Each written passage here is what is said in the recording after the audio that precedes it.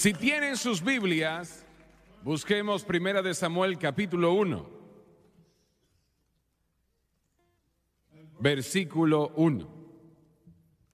Primera de Samuel, que va después de Ruth, va después de jueces, va después de Josué, va después de Deuteronomio, va después de Números, va después de Levíticos va después de Éxodo, va después de Génesis, y no hay nada antes de Génesis.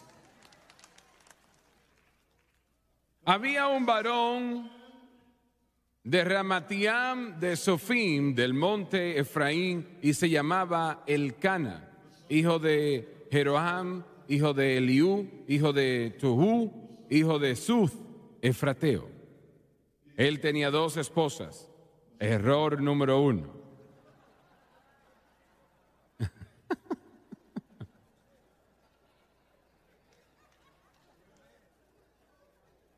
Señor, ten misericordia. Él tenía dos mujeres, el nombre de una era Ana y el nombre de la otra Penina. Y Penina tenía hijos, mas Ana no los tenía. Y quiero usar como tema, predicando los momentos, la mujer que no se rendía. Gloria a Dios, gloria a Dios. La mujer que no se rendía, Padre Celestial, yo pido en el nombre de Jesús, Señor, que gracias por tu palabra que nos diste hace unos momentos atrás. Te creemos. Te damos gracias. Señor, descansamos en tus promesas. Y pido, Señor, que me ayudes a predicar este mensaje en esta mañana. Señor, que yo pueda decir lo que tú quieres que yo diga y que este pueblo sea bendecido, fortalecido y ayudado y yo lo pido todo en el gran nombre de Jesús y todos dicen amén y amén. Esta es una de las pocas fechas festivas en esta nación que tienen un gran significado, tan gran significado. Mencioné esto el miércoles en la noche hace unas cuantas semanas atrás y enseñando sobre Jacob. El Señor me dio el talento para tocar el piano cuando yo tenía ocho años de edad. Yo todavía me veo sentado al lado de mi cama en esa pequeña iglesia de asambleas de Dios en Ferry, Luisiana. Y yo empecé a pedir al Señor, ¿por qué el piano? No lo sé. Yo empecé a pedirle que me diese el talento para tocar ese instrumento. Yo tenía una fe de niño, porque cuando el servicio terminó, yo subí a la plataforma y había un pequeño piano allí. Y yo empecé a tocar acordes. Yo no sabía lo que eran, pero los acordes estaban correctos. Y cuando llegué a casa, mi papá me preguntó, hijo, ¿dónde aprendiste a tocar esos acordes en el piano? Y antes de yo responder, me dijo, fuiste a la casa de la tía Estela, y esa era la hermana mayor de mi madre. ¿Estás tocando el piano con ella? No, le dije. La hermana Corbett, la esposa del pastor, ¿ella te ha estado enseñando? Le dije, no. ¿Y cómo aprendiste? Me preguntó entonces. Le dije, no lo sé, yo le estaba pidiendo al Señor durante el servicio que me diese el talento para tocar el piano y parece que ya empezó. Esa fue mi respuesta que le di. Y lo poco que conozco del piano el Señor me lo entregó. Y tengo, bueno, de hecho, algunos de los medios han dicho, bueno, usted tiene primos que tocan el piano, Jerry Lee Lewis, Mickey Gilly, David Beatty, y eso es algo que corre en la familia. Y bueno, sí, es verdad pero tenemos una cantidad de primos que no tocan nada. Así que yo sí tengo primos nosotros sonamos muy similares en nuestra música. Pero como yo soy el mayor, ellos me copiaron a mí, yo no los copié a ellos. Aleluya. Y yo mencioné esto el miércoles en la noche, hace una semana atrás. En mis años de juventud, 15 años de edad, nuestra área empezó lo que llamaban espectáculos de talentos, no sé quiénes eran los patrocinadores, pero fue antes del programa TED Amateur Hour. Habían cientos y cientos de personas allí que llegaban. Y Jerry Lee y yo no sé por qué Mickey no entró, no lo hizo, pero Jerry Lee y yo entrábamos en cada uno y ganábamos en cada uno. No perdimos uno. Y un día, las personas que presentaban esto nos dijeron, ustedes ya pueden participar solamente para, para cantar, para participar, para ser parte, pero no pueden ya competir porque ustedes tienen que darle la oportunidad a otra persona. Así que pueden venir y tocar, pero no le vamos a dar ninguna recompensa. Hay que dárselo a otra persona. Yo nunca olvidaré el último donde yo fui y esto fue en el 1950, aproximadamente cinco o seis años antes de que el rock and roll llegase al mundo. Mi primo iba a ser uno de los espectáculos número uno en el mundo. Él y Elvis Presley, ellos competían por la canción número uno una semana, Elvis la otra semana, y así se intercambiaban. Nosotros estábamos tocando rock and roll y no sabíamos lo que era. Y el último espectáculo donde yo participé, y le voy a decir por qué en un momento. Cuando empezamos a tocar esa noche, yo no cantaba en ese tiempo, Jerry Lee tocaba, yo tocaba el piano, pero él, él cantaba. No recuerdo si teníamos una batería o un bajo, no recuerdo, creo que sí, pero no recuerdo. Y el lugar se volvió loco. Empezaron a tirar sillas.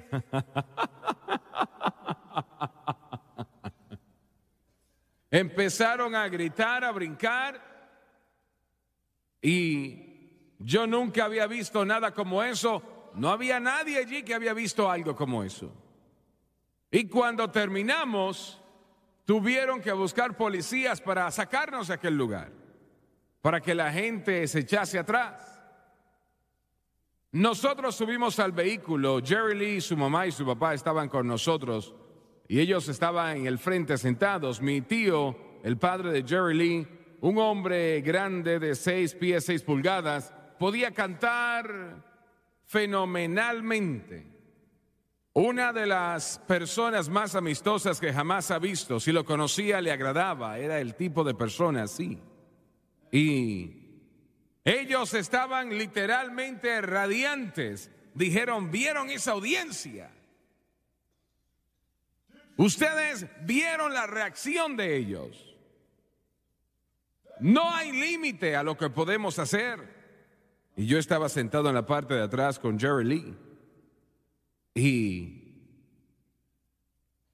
mi tío seguía hablando de lo que iba a suceder y lo que él dijo, eso sucedió. Eso sucedió. No en ese momento, pero unos cuatro o cinco años en el futuro. Pero yo estaba allí sentado y aunque yo había sentido algo en este espectáculo esa noche que me asustó, mientras yo estaba tocando el piano, porque yo le había prometido a Dios cuando yo le pedí a los ocho años de edad que me diese el talento, yo le hice una promesa a Dios. Lo usaré para tu gloria este talento. Yo nunca lo usaré para la gloria del mundo. Y aunque yo no sabía lo que el pecado era a los ocho años de edad, pero dije, Señor, yo nunca voy a tocar en un lugar nocturno. Era todo lo que yo conocía del mundo del pecado. Era que era un, una cantina. Pero yo sentí algo aquella noche que tocó en mi vida y eso me asustó. Yo sabía que tenía un poder en eso que era fenomenalmente fuerte, pero no era para bien. Yo no dije nada esa noche. Yo estaba en mis pensamientos, pero permítame decirle algo. ¿Por qué? Y yo nunca volví otra vez, nunca toqué en otro más. Pero cada noche cuando mi mamá y mi papá, yo era un joven alejándome, no estaba viviendo para el Señor como debía, me estaba alejando. Mi mamá entraba a mi habitación cuando ellos llegaban a la casa, estaban celebrando campañas cada noche en algún lugar. Más adelante Jerry Lee y yo íbamos a tocar alabanzas allí. Y las cantidades de personas que llegaban llenaban aquella carpa, las personas solamente había lugar para estar de pie. Y en aquellos tiempos, y todavía lo puede hacer, pero Jerry Lee podía cantar. Él tenía una voz que era absolutamente fenomenal. Bueno, mi mamá entraba a mi habitación, ella pensaba que yo estaba dormido, pero yo no estaba dormido. Y ella me besaba en la frente y ella me decía cada vez, Señor, el diablo no puede tenerlo, Él te pertenece a ti. Y yo quiero decirle que esas palabras repetidas noche tras noche, semana tras semana, llevaron un poder que es mayor que el poder de la oscuridad.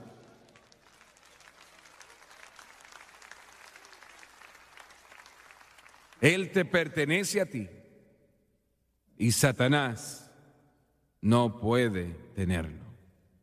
Unos días después de ese espectáculo que les acabo de contar, yo estaba trabajando los sábados para mi abuelo. Él tenía una pequeña tienda y carnicería. Y un hombre entró, vestido muy bien. Se quedó unos momentos mirándome. Yo tenía 15 años de edad en ese momento. Me dijo, muchacho, ¿te gustaría ganarte 100 dólares en la semana trabajando tres o cuatro horas el viernes en la noche, sábado y domingo en la noche? Eso no es mucho dinero ahora.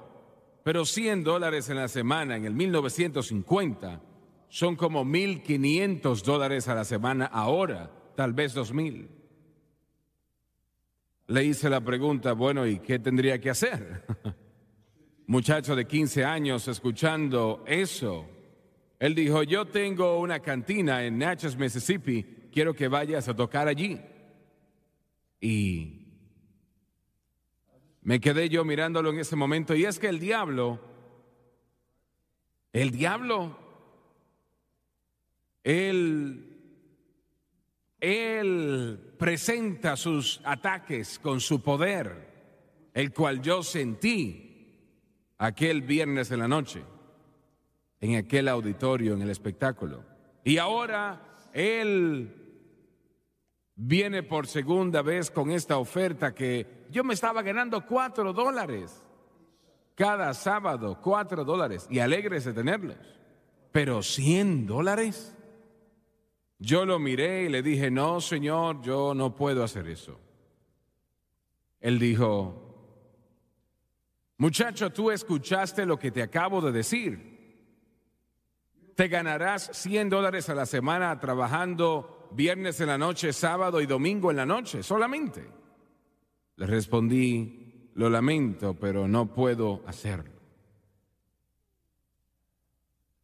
Y habían otras personas que estaban allí cerca y estaban escuchando. Él salió y me dijo, bueno, si cambias tu pensar, llámame.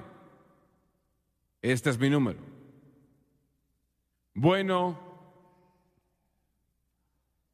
ya hace casi 70 años atrás y no he cambiado mi pensar todavía. Habían personas cerca de mí, escucharon, y yo escuché a uno de ellos decir, ¿escuchaste lo que él hizo? Yo escuché eso varias veces en el futuro, lo cual ahora no voy a contar. Pero usted no puede fallar viviendo para Dios.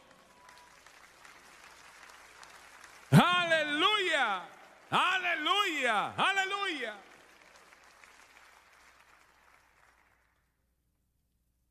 Cuando nosotros entramos en la obra evangelística, era difícil. Fuimos a muchas iglesias que nos daban 50 dólares o menos a la semana. Y yo le dije algo a Francis un día, le dije, he estado pensando yo en grabar un álbum. Ahora ustedes la mayoría no recuerda, pero eran los, los álbums grandes. Eran redondos, tal vez como un plato muy grande. bueno, el otro día Sam, mi bisnieta, ella vio uno y nunca había visto uno antes y dijo, ese es el CD más grande que yo he visto en mi vida.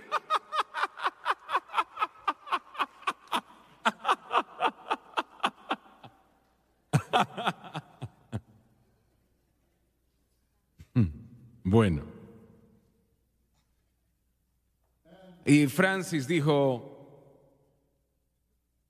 yo creo que debemos, así que empezamos a orar y lo hicimos.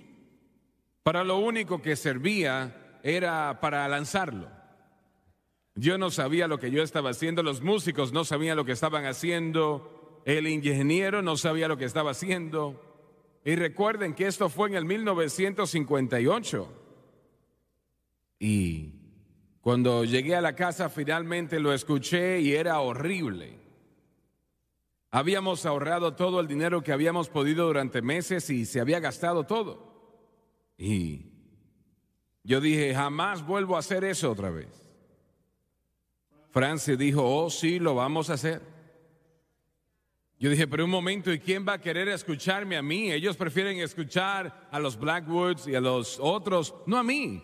Ella dijo, bueno, hay algo aquí que los Blackwoods y los demás no tienen y esa es la unción del Espíritu Santo.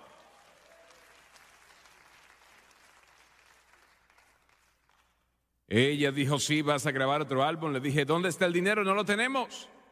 Ella dijo, yo no lo sé, pero lo vamos a hacer. Cuando Dios llama a un hombre, Él llama a su esposa también.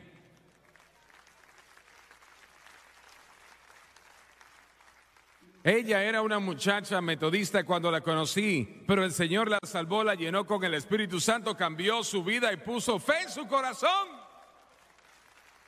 que nos ha ayudado a tocar este mundo. Dije, no tenemos dinero, los estudios son caros,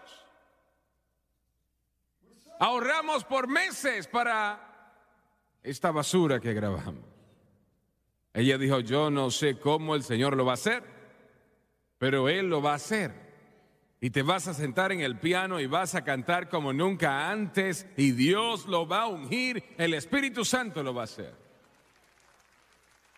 Yo dije, bueno, yo quisiera tener la fe que tú tienes. Estábamos en camino a algún lugar. Esa es una palabra amplia, ¿verdad? Nos detuvimos en la casa de mi primo, Jerry Lee. Y él me dijo, primer día que llegamos allí, me dijo, ¿cuándo vas a grabar un álbum? Yo no le conté del primero que había grabado. Le dije, bueno, yo quiero, pero nosotros no tenemos el dinero para hacerlo. Él dijo, yo puedo ayudarte con eso.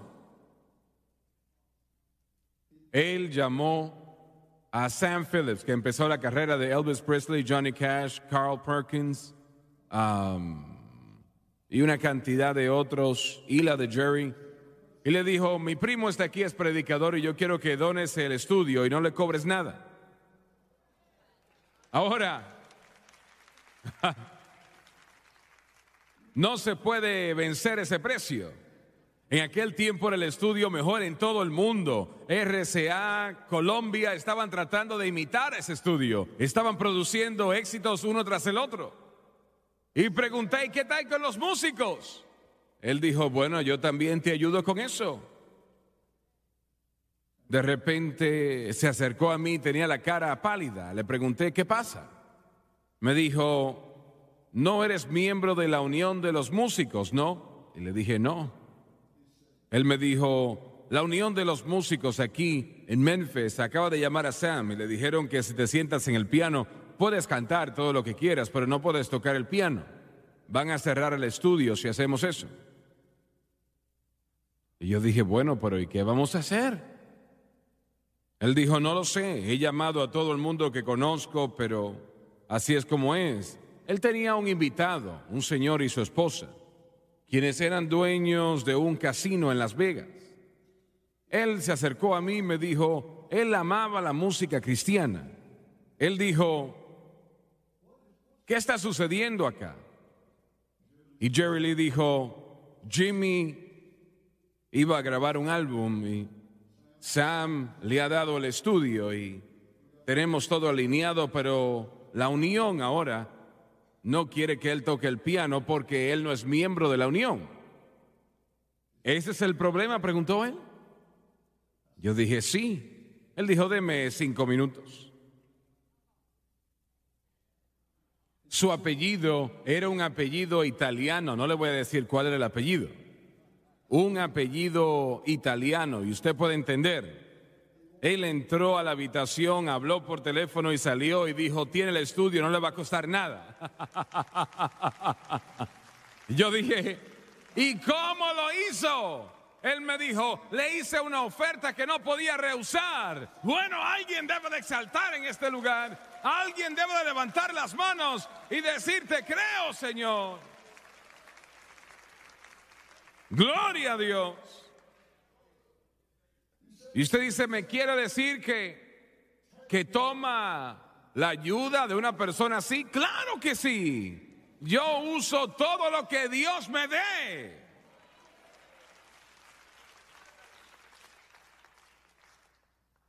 Me senté en el piano en aquel estudio, uno de los mejores en el mundo en aquel tiempo, de los mejores músicos en el mundo. La primera alabanza fue, Dios se llevó mi ayer y Él me dejó libre del pecado. Y en ese hogar celestial, Él nunca lo mencionará otra vez. En una tierra lejana, allí se quedarán en aquel río llamado el olvido. Dios se llevó mi ayer en el momento, como dice la próxima estrofa, en el momento que nos conocimos. Well, God took away my yesterdays. Oh, that moment that we met. Recibí una llamada el otro día del hombre que estaba tocando las baterías en esa grabación. Estaba llorando en el teléfono, no había escuchado de él durante 35, 40 años. Y le pregunté cómo consiguió mi número y no recuerdo lo que él me respondió. Pero me dijo, hermano Swagger, oré con él yo por teléfono. Él me dijo, ese fue el mayor punto de mi vida, que yo pude hacer algo para el Señor. Alabado Dios, aleluya. Gloria. Esto, esto es algo gracioso. Yo he grabado, bueno, han construido muchos estudios desde aquel tiempo, pero he grabado en los estudios de la disquera de Colombia varias veces, he grabado en Nashville, y no recuerdo los nombres de los estudios, pero eran los mejores en el mundo. Músicos, los mejores en el mundo y Francis se sentaba detrás de los ingenieros con esa gran consola y ella no puede llevar un acorde. Oh, se me salió eso. No debí de haber dicho eso. ella, ella se sentaba detrás de ese ingeniero. Llegaron al punto que la conocían y la escuchaban. Ella decía, sube eso. Y es que hoy en día se puede cambiar todo, pero en aquel tiempo no se podía cambiar nada. Tenía que ponerse de una manera y ya. Ella decía, sube acá, baja esto un poco, pongan eso un poco más fuerte. pero el Espíritu Santo la estaba dirigiendo. Aunque ella no conoce la música, gloria a Dios. En una de esas secciones, un día nosotros tuvimos un receso y yo estaba caminando por un pasillo a buscar agua. Le pasé por el lado a un hombre, se dio vuelta y me miró y me dijo, ¿usted es Jimmy Swagger? Le dije, sí. Él me preguntó, ¿quién es su distribuidor? Es que los veo donde quiera que voy. Yo le respondí, el Espíritu Santo. Nunca olvidaré, él me dijo, ¿el santo quién? bueno, Gloria, me di cuenta que el Señor es un distribuidor, Él es ingeniero, el Señor es carpintero, el Señor es plomero, el Señor es banquero, el Señor es todo. Gloria a Dios.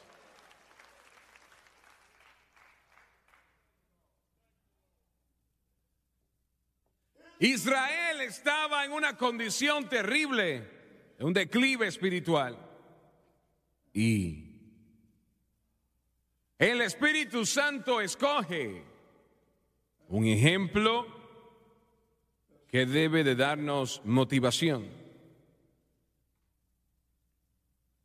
Un hombre cuyo nombre era Elcana. Este hombre tenía dos mujeres, Ana y Penina. Ana era estéril. Ella no podía concebir. Y en esos días era una desgracia, una deshonra cuando una mujer no podía concebir hijos, un niño.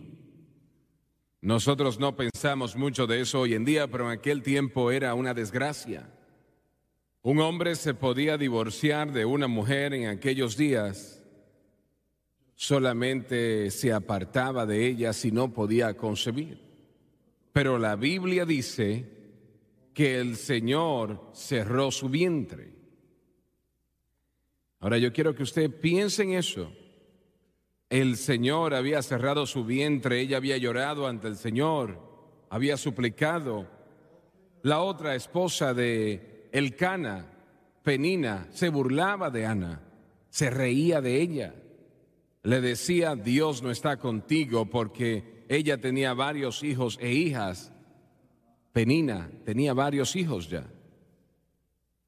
Tú eres maldita porque tú no puedes concebir y se burlaba de ella hasta el punto de que el corazón de esta mujer estaba roto. Permítame decirle,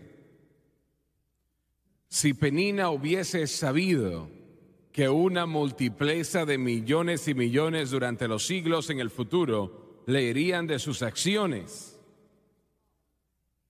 y de el corazón duro que ella tenía y cómo ella rompió el corazón de Ana e insultó a esta mujer una y otra vez. Tal vez ella hubiese pensado más, pero usted debe de escuchar, con lo que usted juzga, con eso seréis juzgados. Y Penina no lo sabía, pero ella estaba hablando con la mujer que iba a ser la madre de uno de los grandes profetas que jamás ha vivido. Debe de tener cuidado lo que usted dice de otros, lo que parece ser en la superficie, tal vez no sea lo que realmente es la realidad. ¿Escucharon eso? Yo quiero que usted lo escuche cuidadosamente. Lo que usted ve en la superficie, tal vez se vea de una manera. Y lo que sea la verdadera realidad, tal vez es otra cosa. Usted debe de recordar eso. Yo sé a qué me estoy refiriendo. ¿Por qué Dios? ¿Por qué Dios cierra el vientre de Ana? Detiene que ella durante años no conciba. Y su corazón clamando por un niño Ella sentía en su espíritu que tenía que tenerlo, pero ella no podía. Para su crédito, el Cana, su esposo, era amable con ella. No permitas que esta mujer, Penina, te haga daño, te hiera, porque mi amor por ti no ha cambiado ni se ha debilitado. Y estaba diciendo la verdad. ¿Por qué Dios hace algo así? Y es que Dios no siempre obra como nosotros pensamos que Él debe hacerlo. Y permítame decir esto correctamente. Todo lo que nosotros enfrentamos como cristianos, como creyentes, todo, todo lo que Él permite que llegue a nuestra vida y a veces lo que hacemos está mal, pero Él no nos abandona aunque está mal. El domingo de resurrección prediqué en el mensaje las dos palabras, acuérdate de mí. Canté eso hace un momento atrás. Ese ladrón muriendo al lado del Señor era un asesino, un ladrón. Y de alguna manera en esa agonía él inicialmente había criticado a Cristo como lo hizo el otro ladrón. Maldijo a Cristo. Pero algo sucedió en su vida, en su corazón. Alguien dice, bueno, yo no creo en un arrepentimiento en un lecho de muerte. Yo creo en todo tipo de arrepentimiento que existe cuando suceda. Él dijo, Señor, acuérdate de mí cuando estés en tu reino. Él sabía con quién estaba hablando, pero realmente no sabía con quién estaba hablando. Y este día Jesús le dijo, estarás conmigo en el paraíso, gloria a Dios. I want you to my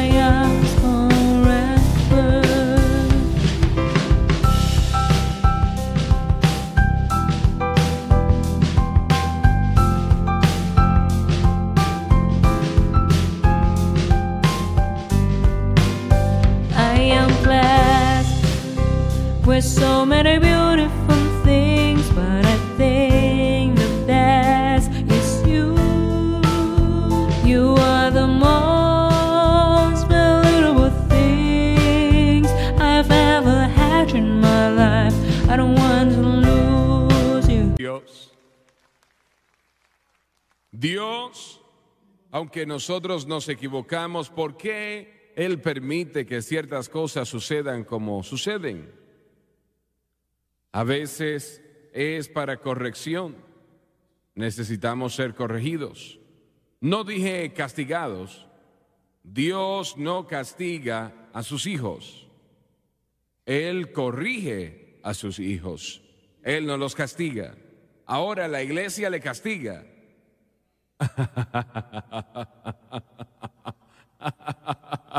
Hay alguien aquí que eso no les ha sucedido. La iglesia le va a castigar. Y usted dice, un momento, no entiendo, ¿me quiere decir que Dios no castiga a nadie en este lugar si son sus hijos? Así es. Jesús recibió el castigo por nosotros en la cruz del Calvario dos mil años atrás. Gloria a Dios. Dije, gloria a Dios. Estaba hablando con un predicador hace un tiempo atrás y él me dijo, en cierta denominación castigan al predicador si hacen esto y aquello de aquella manera. Yo dije, ¿sabe? Eso es extraño. Tal vez ellos no creen que Jesús fue castigado lo suficiente por nosotros en el Calvario y tienen que anexar algo a eso. Él se dio vuelta y me miró y me dijo, ¿sabe? Yo nunca había pensado en eso. Le dije, bueno, pero debe de pensarlo, porque cuando Él dijo, consumado es, Gloria a Dios, se terminó todo. Permítame, permítame ayudarle con algo.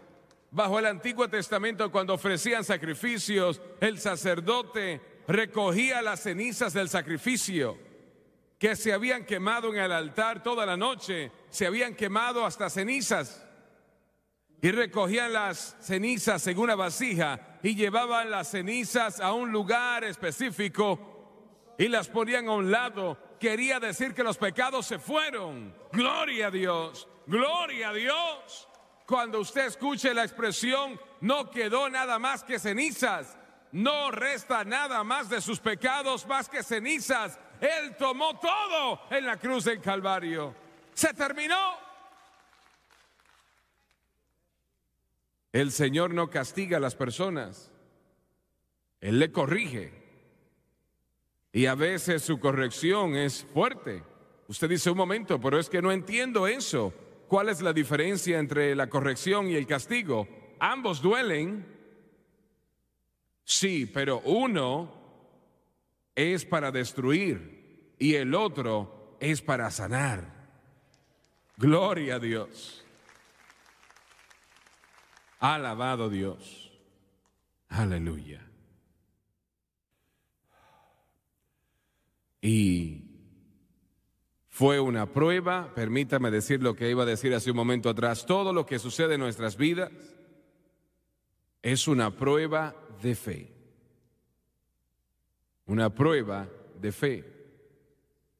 ¿Qué vamos a hacer? Y es que Dios sabe lo que hubiésemos hecho, pero usted no sabe hasta que esté en aquel lugar.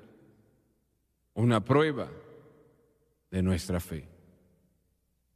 Y la Biblia dice que iban cada año, debían de ir tres veces al año, pero Israel estaba en una situación terrible.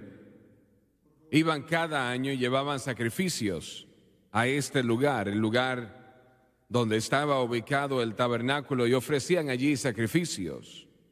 Elí era el sumo sacerdote. Sus dos hijos eran sacerdotes también. Ambos murieron más adelante. Pero bueno, no hay sumos sacerdotes hoy en día.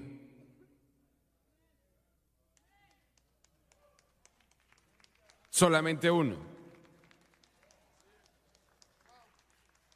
Hay un mediador entre Dios y los hombres, el hombre Cristo Jesús.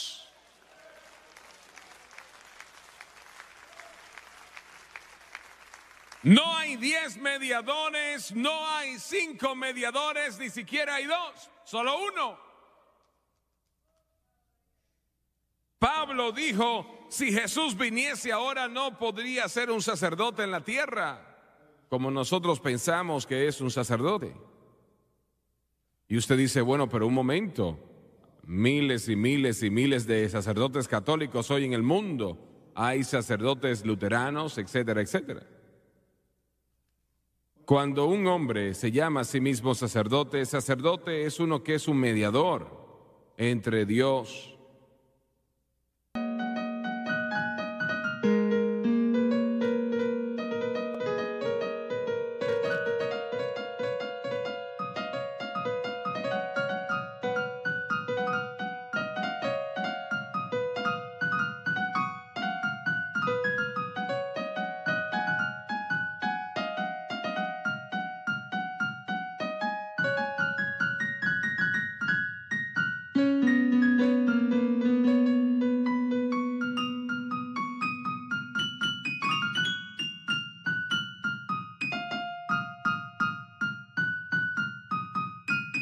y los hombres. Si Él se llama a sí mismo un sacerdote, Él está diciendo que lo que Jesús hizo en la cruz del Calvario no fue suficiente. Y yo no quiero ser negativo, pero le tengo que decir la verdad. No hay tal cosa como un sacerdote que Dios vaya a reconocer. Ninguno. Hay apóstoles, hay profetas, hay evangelistas, pastores y maestros.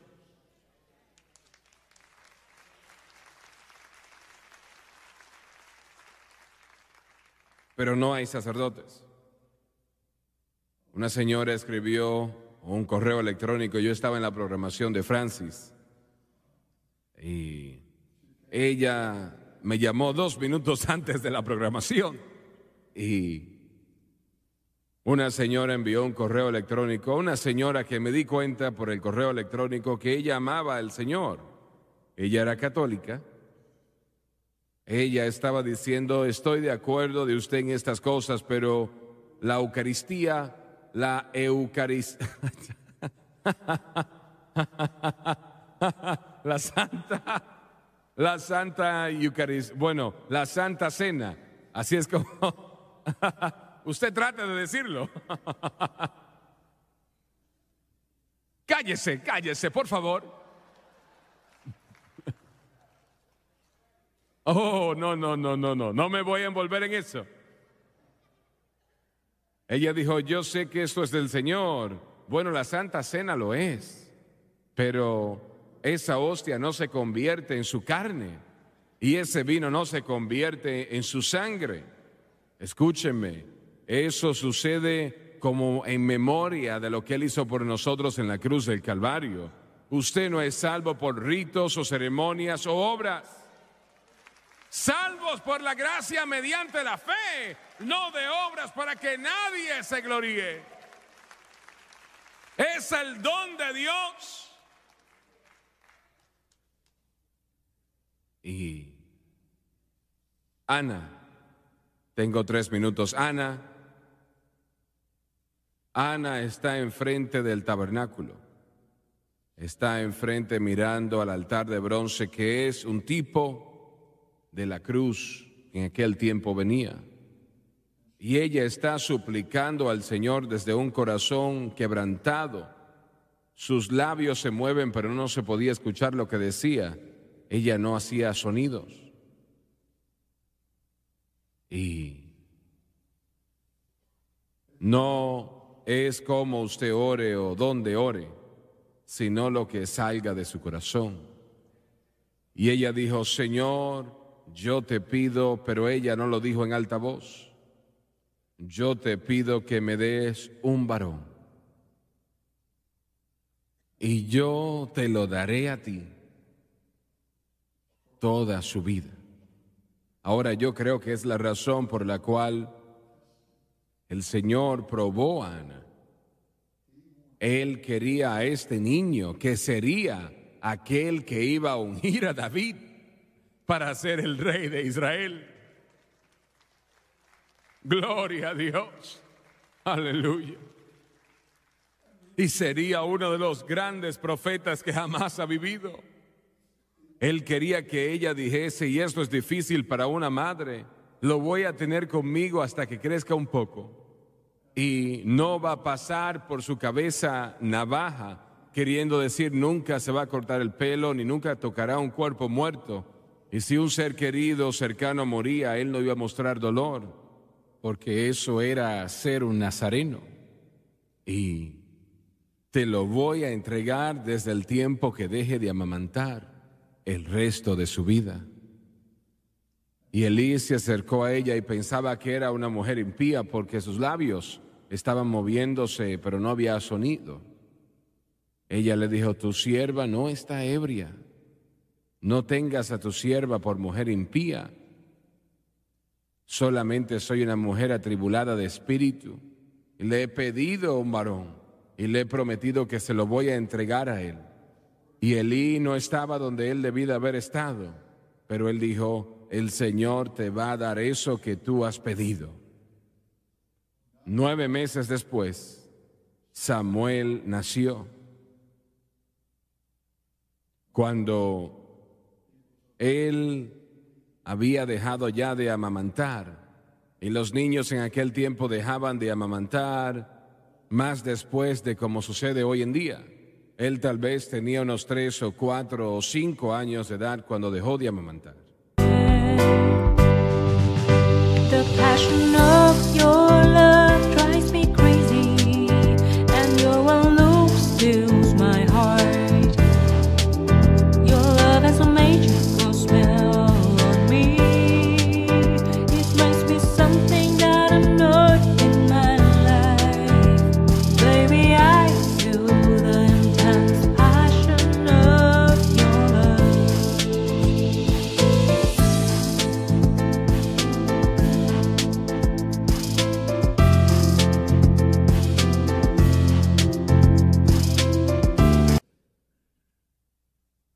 que yo estoy recibiendo una educación en niños otra vez. Y nosotros tenemos una que solamente Dios sabe. Sam me preguntó ayer porque era ya tiempo de irse a casa y Abby se sentó en el mueble y dijo, no me voy. Yo le dije, bueno, tienes que irte, ya nos vamos. No, yo no me voy, me voy a quedar aquí, dijo.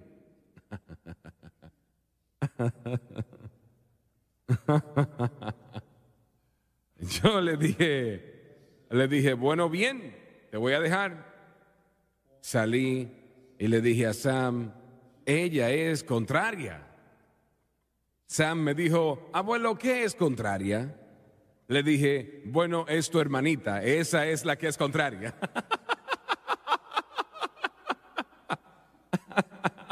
Cuatro años de edad. La llevé a la cafetería el otro día y me dijo, no voy. Yo soy más grande que ella, así que la llevé. Llegamos allí y estamos pasando por la línea. Sam, Sam se lleva con todo el mundo. Y yo iba a buscar la, la bandeja para ella para Abby. Abby me dijo, no, no, para mí no, yo no voy a comer aquí.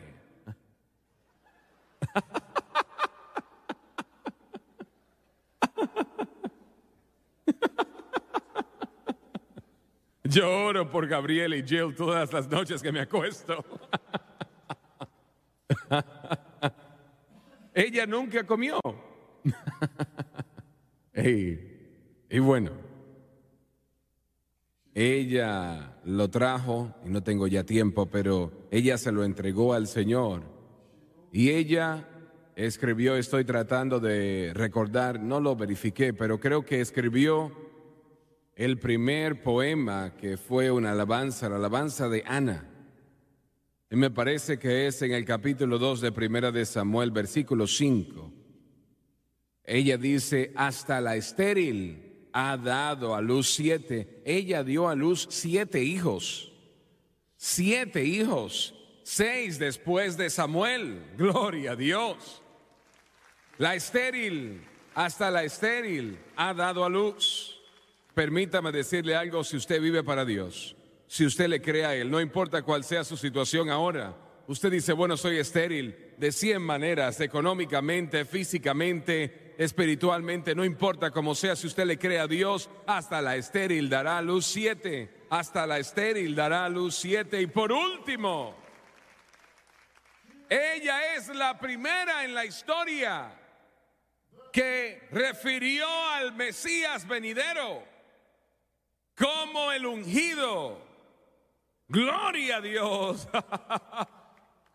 No, yo no puedo, yo creo que puedo decir el mayor privilegio fuera de María o aparte de María, de cualquier mujer que jamás ha vivido, ser la primera que se refiere a Jesús como el ungido.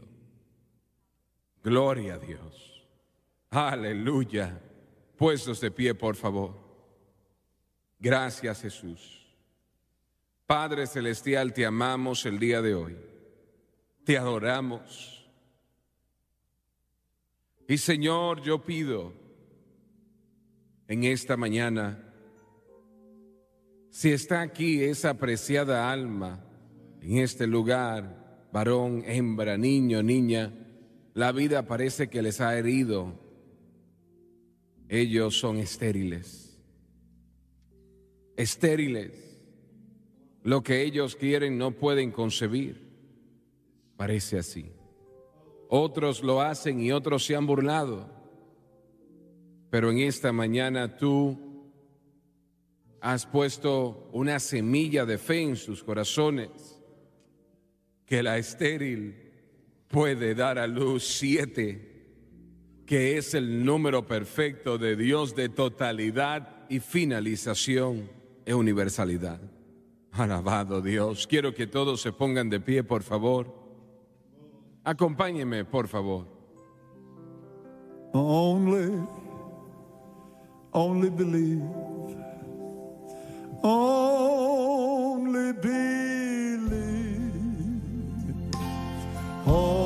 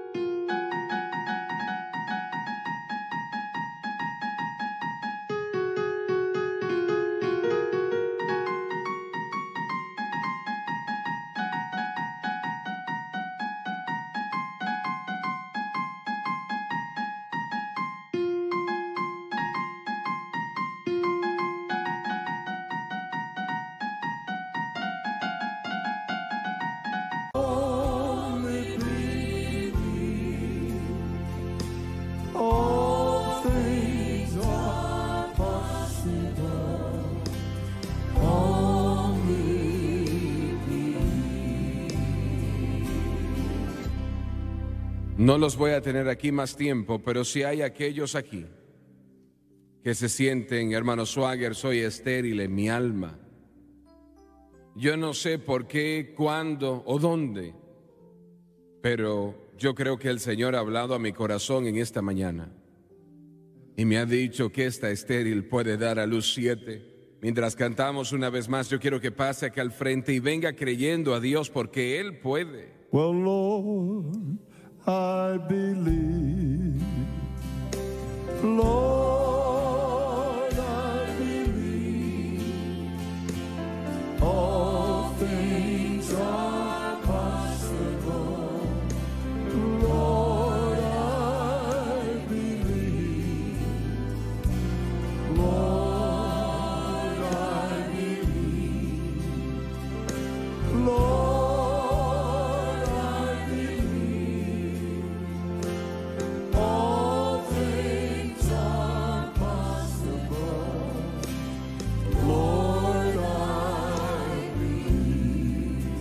Sing it now, Jesus is here.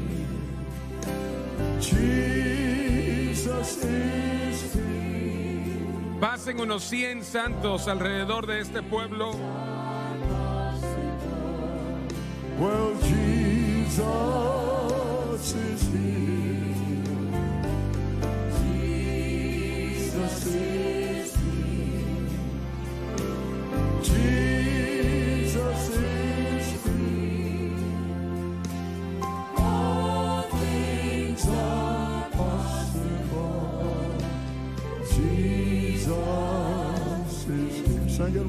Time now. Only. Derrame su corazón ante Dios. Señor, tú vas a hacer la estéril que dé a luz siete.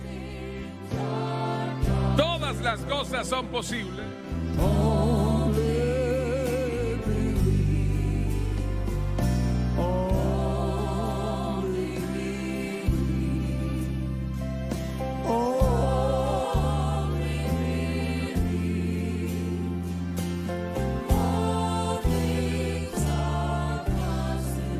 Empieza a creerlo ahora. Cántenlo una vez más. Los que están en la audiencia, estiren sus manos a estos que están aquí al frente. Es tiempo de derramar nuestros corazones delante del Señor y ustedes por televisión, escuchando por radio, igual para ustedes. Todas las cosas son posibles, créalo ahora. Solo créalo.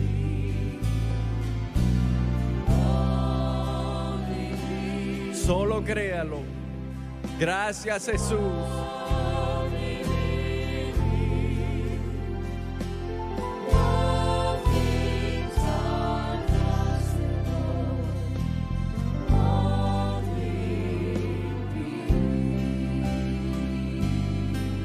Padre Celestial, venimos delante de ti en esta mañana en el nombre de Jesús.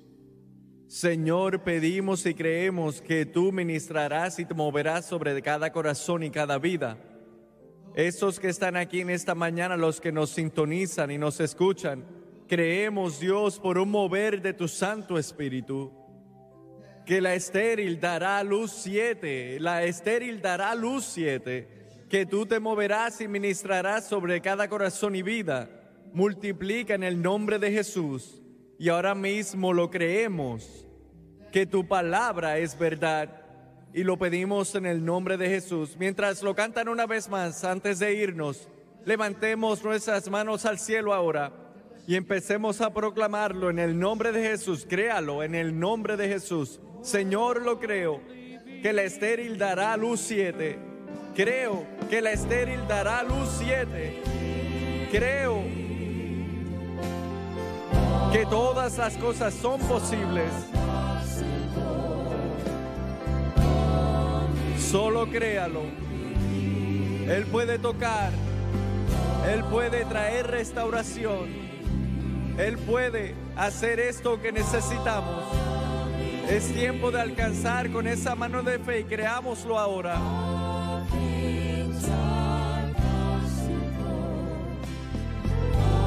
Voltéese y salude a los que están alrededor. Dígale a esos que están al lado que usted cree. Cree que la estéril dará luz siete.